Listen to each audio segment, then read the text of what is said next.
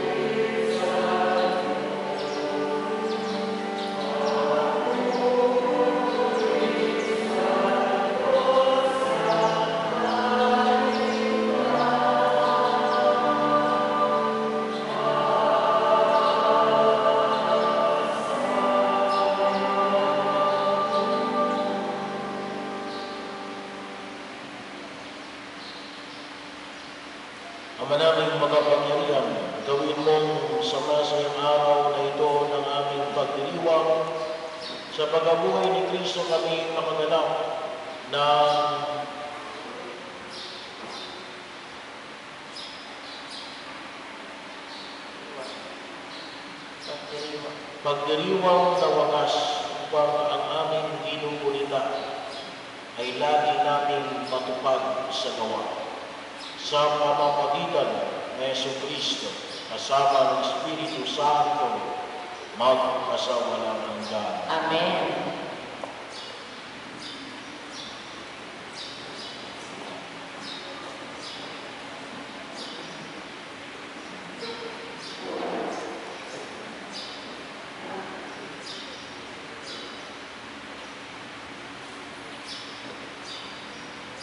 Pagbasa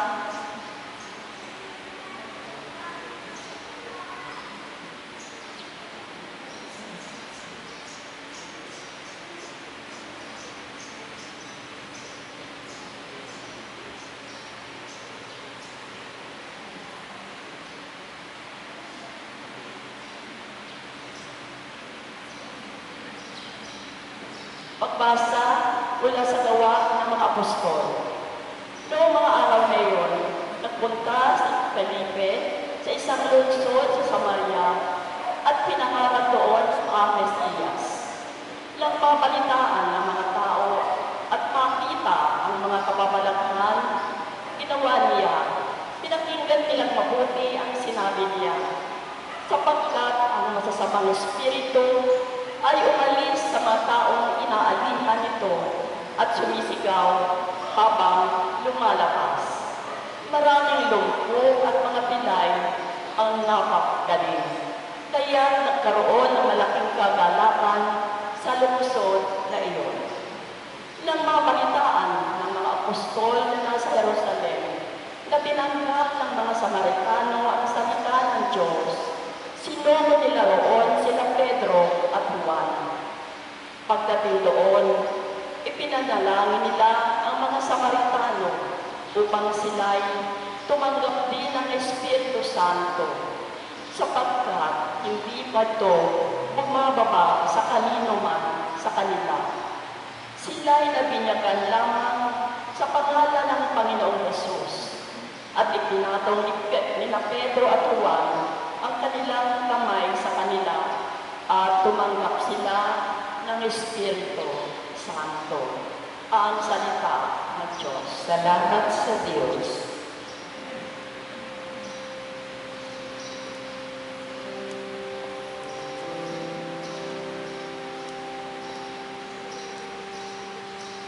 Kalupaan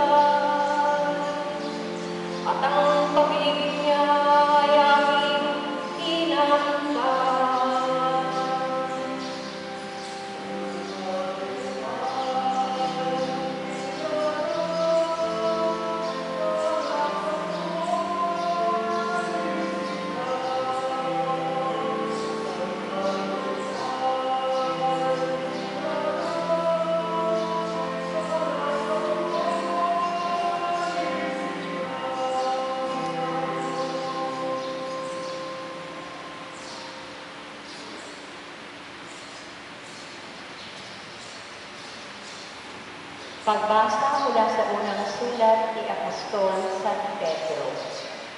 Mga pinakamamahal, idambagan ninyo sa inyong puso si Kristo Panginoon. Humanda kayong lagi na magpaliwanag sa sino mang magtatanong sa inyo tungkol sa inyong pag-asa. Ngunit, maging mahinahon at mapitagan kayo sa inyong pagpapaliwanag. Panatilihin ninyong malinis ang inyong budhi upang mapahiya ang mga kumaalipusta at tumutulya sa inyong magandang asal bilang mga lingkod ni Kristo. Higit na mainam ang kayo'y magdusa dahil sa paggawa ng mabuti sakali mang loobin ito ng Diyos, kaysa magdusa kayo dahil sa paggawa ng masama. Sapagkat si Kristo'y namatay para sa inyo. Namatay siya dahil sa kasalanan ng lahat, ang walang kasalanan para sa mga makasalanan, upang iharap kayo sa Diyos. Siya'y namatay ayon sa laman at muling binuhay ayon sa Espiritu. Ang salita ng Diyos. Salamat sa Diyos.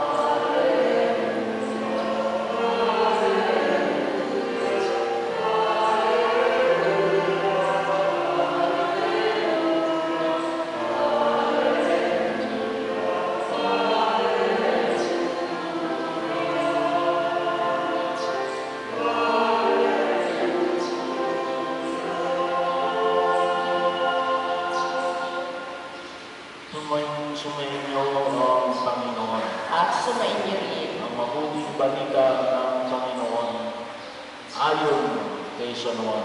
papuri sa iyo, Panginoon.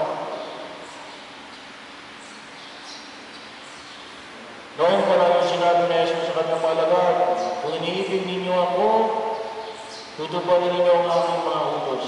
Dadalangin ako sa Ama, at kaibibigyan niya ng isang pang patnubay na maging kasama ninyo magpakailanman. Ito ang Espiritu ng katotohanan na hindi na matanggap ng sanlibutan. Sabagat hindi siya nakikita ni nakikilala ng sanlibutan.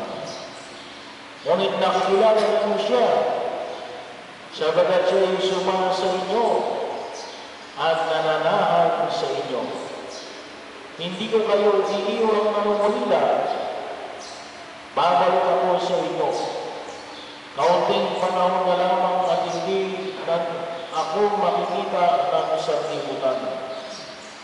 Ngunit ako'y makikita ninyo sabagat mabubuhay ako at mabubuhay kayo. Malalaman ninyo sa araw na noon na ako'y suma sa Ama. Kayo'y suma sa akin at ako suma sa inyo.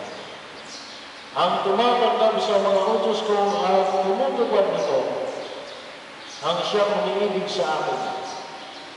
Ang umiibig sa akin ay ibigin ng aking Ama. Ibigin ko rin siya at ako'y lubusang magpapakilala sa Kanya. Ang mabuting balita ng Panginoon. Pinupuri ka namin, Panginoong Heso Kristo.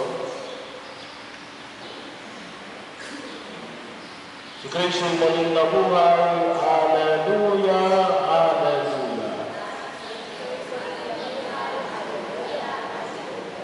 Salamat sa Diyos. Hallelujah.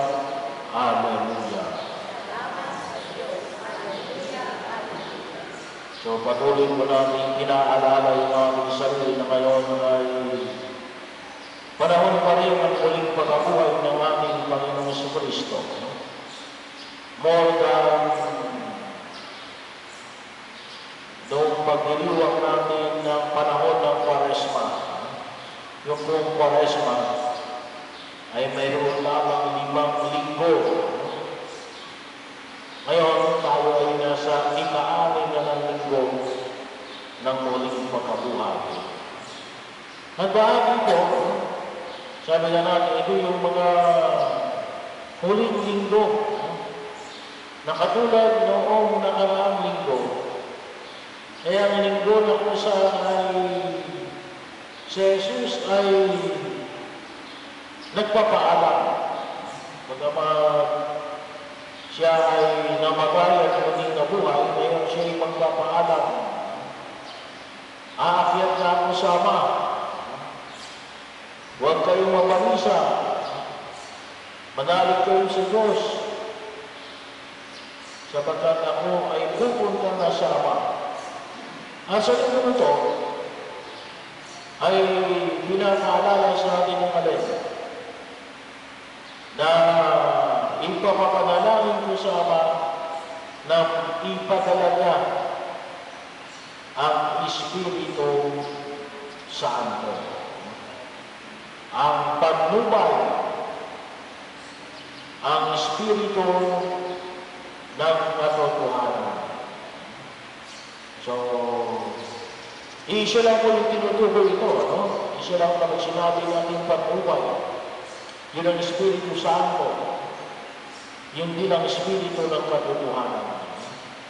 At alam po natin, kung minsan kapag pinapaliwanag natin, kasi alam natin ang kaya nating paniniwala ay ang Trinitarian God, ang isang Diyos na may tatlong persona, Ama, Anak, at Espiritu Santo. Kapag po ipinapaliwanag natin ang Espiritu Santo, ito ay isa sa pinakamahirap ito yung isa sa pinakamahirap. Kasi espiritu. Makita natin na yung ama, ah, pagligka. Ang anak, tagapagligtas. Medyo ah, na ilalagay natin sa isip. Pero kapag Espiritu Santo, medyo may kahirapan. Ano na nais kong bigyan natin ng pag-inilay ngayon?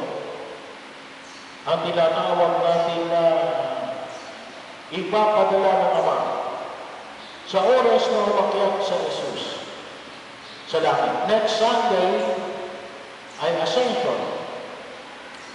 Pagkatapos ng Ascension ay Pentecost, ang pagpapadala ng Espiritu Santo ang espiritu ng katotohanan. At ito yung tingnan po natin sa ating Panginoon. Ano ba itong Espiritu Santo na ito?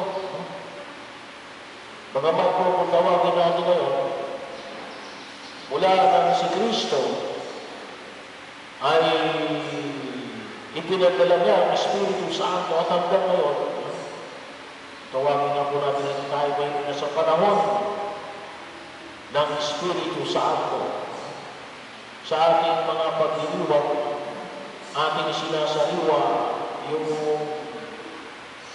pagpapadala niya two weeks from now.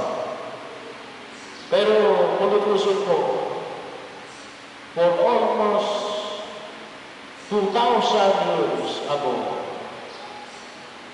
mga kulang-kulang na ho na kung tawagin natin ang isang libo sa badaalang pinunto,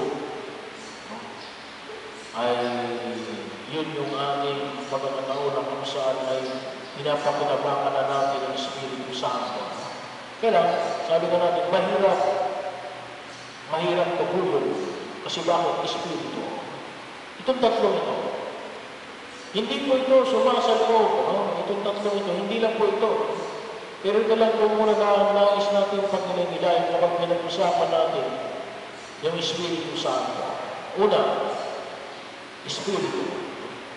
Pag sinabi ng Espiritu, katulad na po na pinahaig na rin sa Ebanghelyo ay nanasabi po ito ni Jesus, na hindi matanggap ng sanlibutan. Ang Espiritu na ito ay hindi matanggap ng sanlibutan. Sapagkat hindi siya nakikita ni nakikilala ng sanlibutan. Yun po yung sinabi na Jesus. No? Hindi matanggap ng sanlibutan sapagkat hindi siya nakikita na ni nakikilala ng sanlibutan. Kapag sinabi natin Espiritu Santo is beyond our five senses. Hindi mo makikita, hindi mo maamoy, hindi mo ah malalasahan, walang lasa, walang hugis, walang forma, bahagi yun na kung sa kaya sabi natin, out of this world, espiritu eh. No? Espiritu. Na kung sa na hindi nakikilala ng salibutan, bakit magkabaliktad ko yung salibutan? Kapag sinabi ko natin, kapag inaunawaan natin yung Ebanghelyo ni San na yung tungkol sa salibutan, yung may laman, yung espiritu walang laman. Kasi espiritu eh. Katulad mo nito, ito, may laman to. Yan ay, yan ay hindi espiritu. Anything na may laman, ay makita po natin. Yung po, sindi ng kandila, bagaman po, ang isa sa representation sa Pentecost ay bilang apoy, pero hindi ang espiritu. Representation ako yun. Yung usok na nakikita ko natin dyan, no? hindi rin yan espiritu. Usok yan eh. May laman pa rin yan. Kahit na yung hangin na tinatapon sa atin na electric fan? Hindi yung espiritu yan. May laman pa rin yan. Kasi nararamdaman natin yung tapon ng ating hangin. Kaya niya, kapag sinabi natin oxygen, may laman pa rin yan. Kaya nga pwede natin ilagay sa container yan. Ang Espiritu, ah, kapalit ka lang ng anumang may laman. Anumang mayroon kung tawagin natin ay may katawan. Kaya pag sinabi ng iba na nakakita ako na na multo. Ang multo, walang espiritu yan. Ay, kasi, ah, sorry, ang multo ay espiritu yan. Walang laman yan. Kaya kung doon hindi mo makikita agad, bahagi ng pagkilos na kung saan ay maliban na lamang kung tawagin mo natin ini may kapangyarihan na magkaroon ng laman. Ano yun? Ah, yun ang the fallen angel. Pero pag sinabi natin Espiritu, walang laman yan. Kabaliktaran ng sanlibutan. Kaya sinabi na, hindi nakikita at makikilala ng sanlibutan. Pero anong sabi ko rin ni Jesus? Ngunit ano sabi niya? Sabi niya eh, ngunit nakikilala ninyo siya sapagkat siya'y sumama sa inyo at nananahan sa inyo. Bakit natin siya nakikita? Kasi nananahan sa atin. Bakit nananahan sa atin? Kung yung maalala, sa pamagitan ng ating paglikha at sa pamagitan ng binyag, bakit gawa ng paglikha? Anong sabi nga sa pagluka? Nilikha ng Diyos ang tao na kanyang kawamis. Kung nilikha tayo ng Diyos, gawa ng kawamis natin ng Diyos. Saan? Hindi sa ilong. No? Hindi sa bawat makawamis tayo ng ilong ng Diyos. Hindi gawa ng paa, kamay. Hindi gawa ng ah, magaling tayo. Hindi. Saan tayo kawamis ng Diyos? Kawamis tayo kapag sinabi ang kawamis ng Diyos. Tayo ay may Espiritu. Kaya tinawag na mananatili sa atin. We can recognize the Spirit because of it. Hindi lang tayo makasakibutan. Tayo rin ay Espiritu. Hindi nga lamang puro. Hindi nga lamang puro. Pero may kakayanan tayong makilala ang pagkilos ng Espiritu Santo. Kaya may kapangyarihan din tayong makilala ang pagkilos ng mga bagay na hilig sa daigdig na ito. Kaya kung hindi ko pwede sabihin sa akin na, ah, bakit kasi tao lang ako? Eh? Lupa lang ako? Hindi.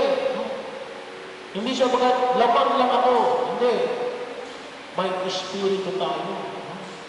May espiritu tayo. Kaya pwede tayong umangat sa ating pinanatayuan sapagat tayo ay espiritu.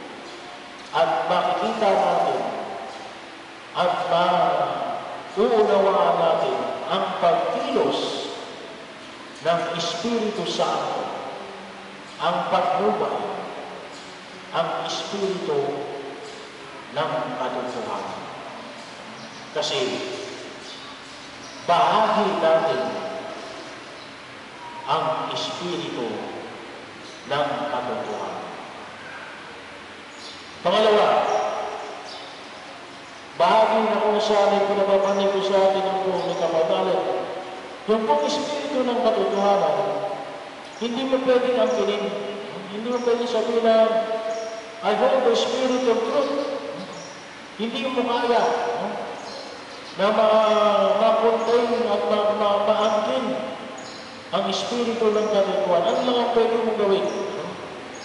Ay, pwede natin ito ay ipakita sa ating mabuting halimbawa.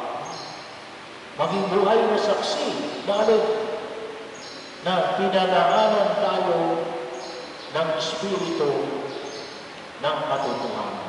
Kaya ano pa na ito?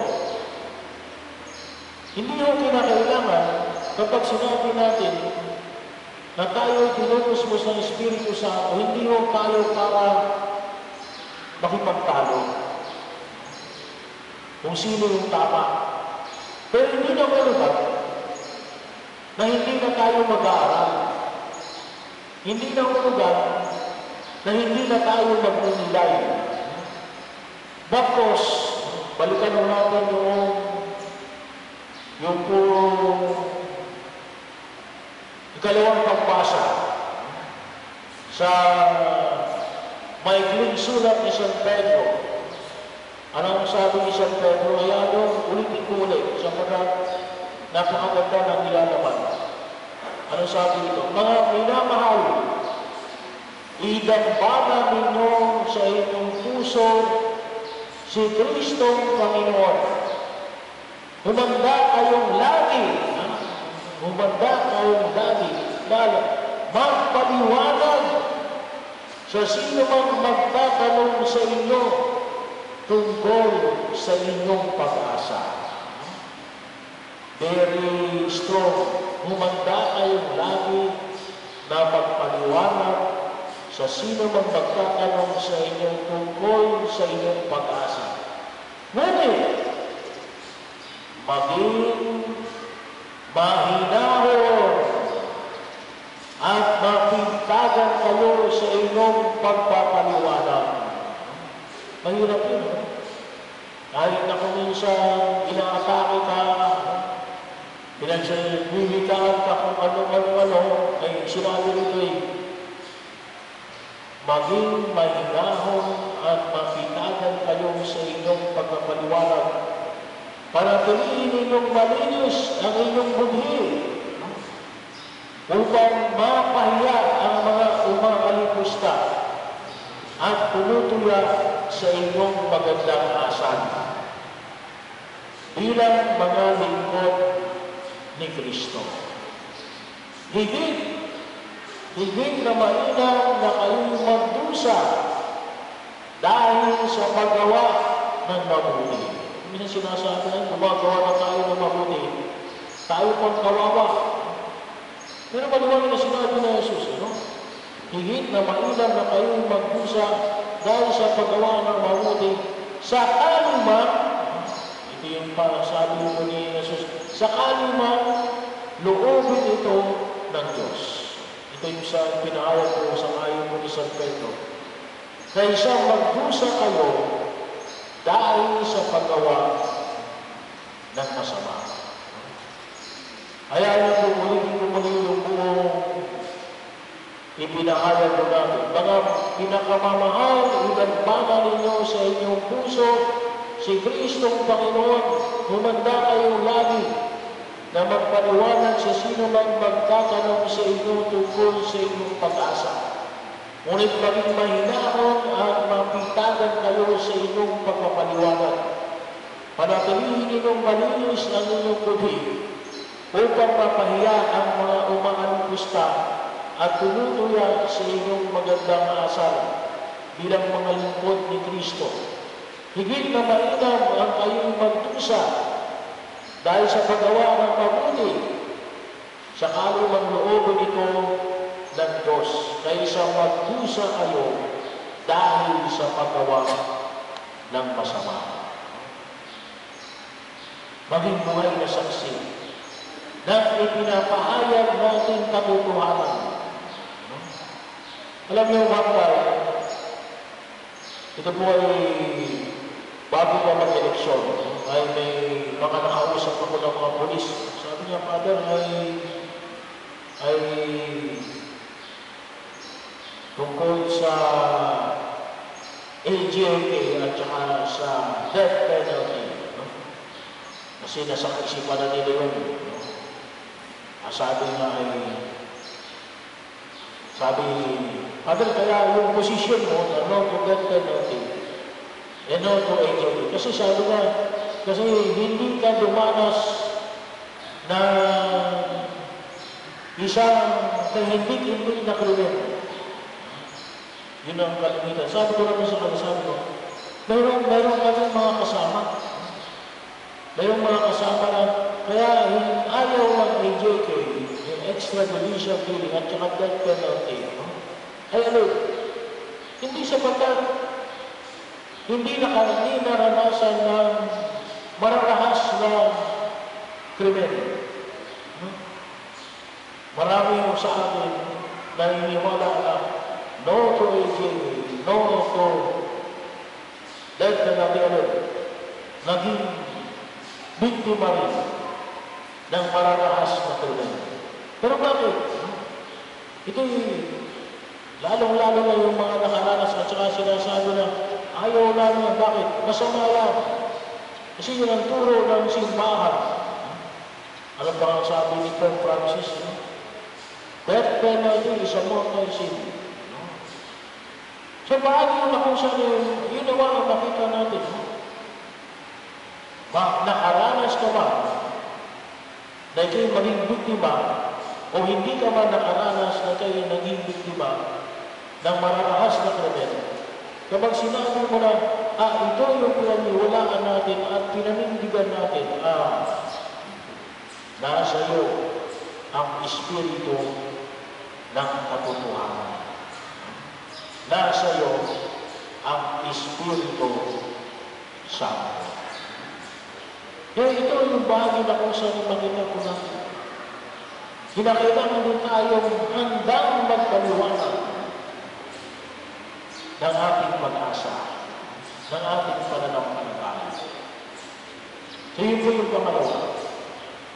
Maging buhay na saksi ng katotohanan ng ating pananampalataya. Tayo. Pangatlo,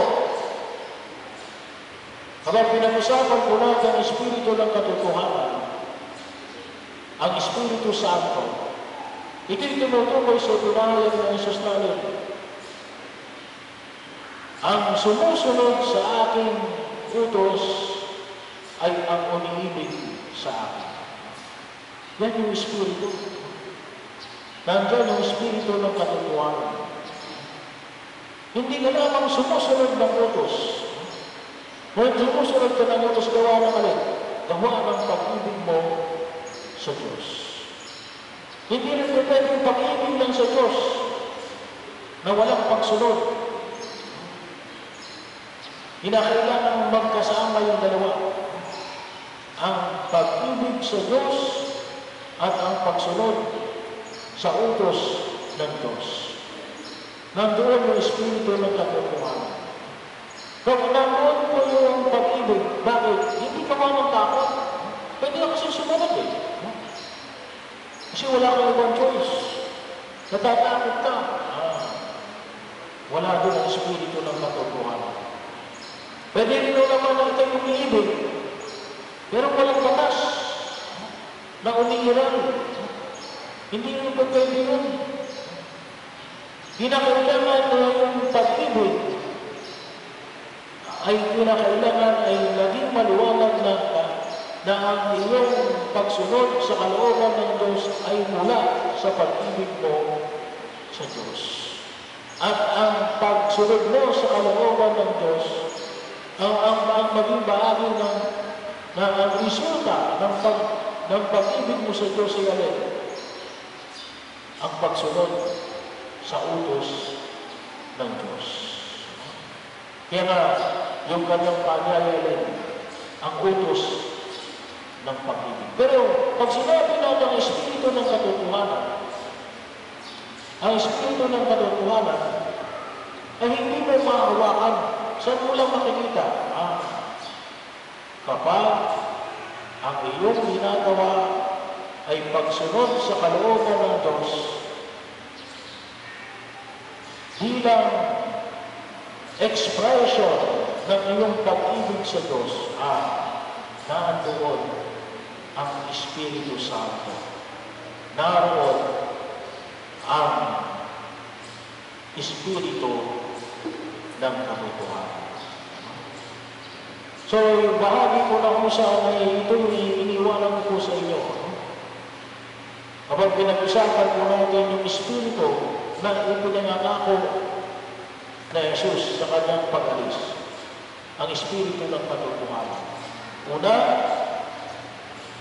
hindi, wala itong laman.